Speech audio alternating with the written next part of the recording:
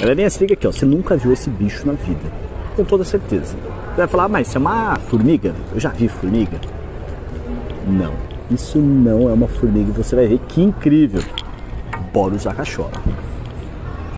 O processo que esse bicho está fazendo para imitar uma formiga é chamado de mimetismo. Olha lá. Percebeu? Não é uma formiga, é uma aranha.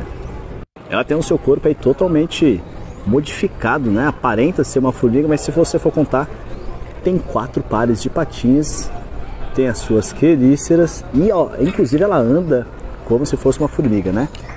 Mas não é. Eu já comentei aqui no canal em outros vídeos que o mimetismo é uma, um processo evolutivo fantástico. Porque vai permitir que o animal se pareça com outro que muitas vezes é mais perigoso do que ele. Nesse caso aqui, para aranha, ou se parecer com formiga é importante porque vai parecer inofensiva. E aí, quando outros bichos se aproximam e ela vai lá e flau, dá o bote em cima da sua presa. Olha só que bonitinha que ela é.